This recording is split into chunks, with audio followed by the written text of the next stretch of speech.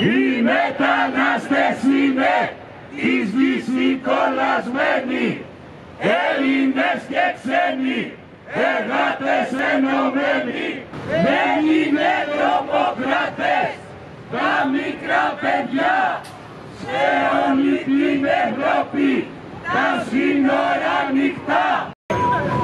Οι πρόσφυγες και οι μετανάστες δεν είναι μόνοι.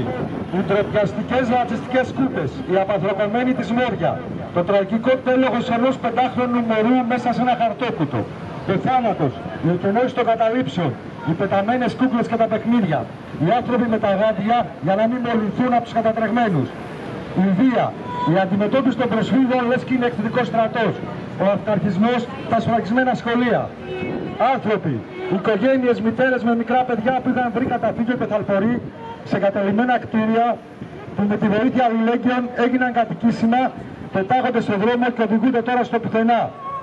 Όμως απέναντι σε όλα αυτά είναι παρούσα και η αλληλεγγύη, η ανθρωπιά, η άρνηση να γίνουμε μέρος της βαρβαρότητας. Δεν επιτρέπεται να παρακολουθούμε από τον καναπές μας τις εικόνες της φρίκης. Οφείλουμε να κάνουμε ό,τι μπορούμε, όπου μπορούμε. Βοήθεια στους κατατραγμένους και στους οικέτες. Μας το παρέδωσαν παρακαταθήκη η αρχαία μας τραγωδή. Μας το έμαθαν οι πρόσφυγες παππούδες μας, οι μετανάστες γονείς μας. Ο δρόμος της ξενιτιάς που ακολουθούν και σήμερα χιλιάδες νέοι και νέες μας.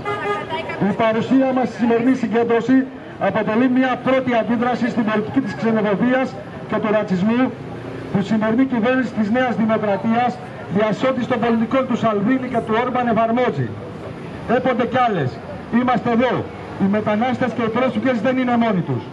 Τομέας δικαιωμάτων του ΣΥΡΙΖΑ.